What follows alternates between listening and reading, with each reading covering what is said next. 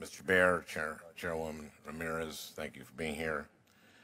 I, I am increasingly concerned about uh, internet giants that use their positions as dominant media platforms to stifle competition and inhibit the free flow of ideas. In recent years, we've heard countless allegations of online intermediaries leveraging their market dominance to the detriment of content creators and innovative startups. Google has preferenced its own products and services and in search results while downgrading competitors' products and services. I've heard from photographers and from um, uh, stock houses, uh, uh, photography stock houses, online stock houses, uh, that Google may be taking original content from uh, the website of these stockhouses uh, without appropriate compensation or attribution. Uh, Apple is preventing its co competitors in the music streaming market from promoting lower prices to consumers on Apple iOS.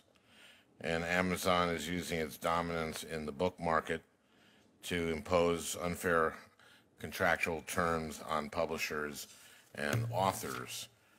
Uh, what are you doing to address allegations that these dominant platforms' unilateral behavior is anti-competitive and may ultimately harm the free flow of ideas and content.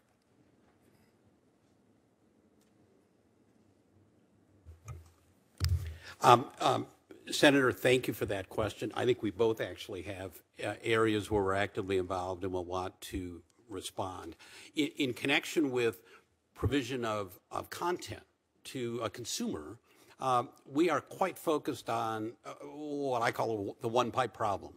The fact that uh, for most Americans, uh, they only have the choice of one or zero high speed internet service providers. So there is one pipeline into the home. The incentives for the people who control that one pipeline to favor uh, content they may have created on their own, to um, uh, to price differentiate in a way that uh, uh, denies creative works the opportunity to be seen, the incentive to discourage over-the-top transmission of content, video, uh, that is really the new wave of how uh, we are increasingly viewing content and giving us an option to avoid the one pipe, to avoid um, or limit the dominance of the internet service provider. So in both mergers and in looking at, at conduct, we look at restrictions such as most favored nations clauses.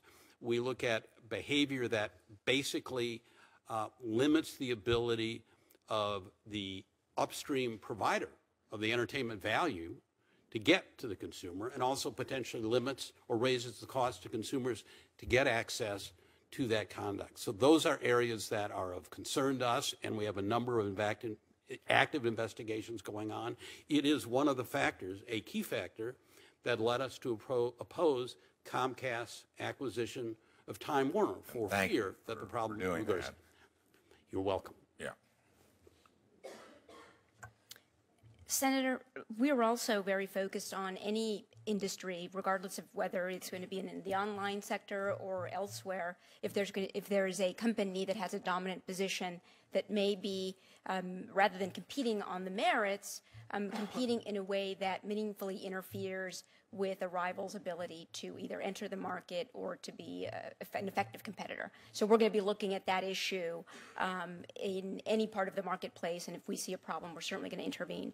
Um, you are no doubt aware that the Commission did, um, back in early 2013, um, conclude that um, and decide unanimously not to bring an action against Google for its search practices, but I can assure you that we continue to be um, watching the marketplace vigilantly, and if we see a problem, um, we are going to, to take have, action. Have you looked at Google's practice of putting up uh, images that uh, stock houses have, and people just take them off the internet and don't pay for them?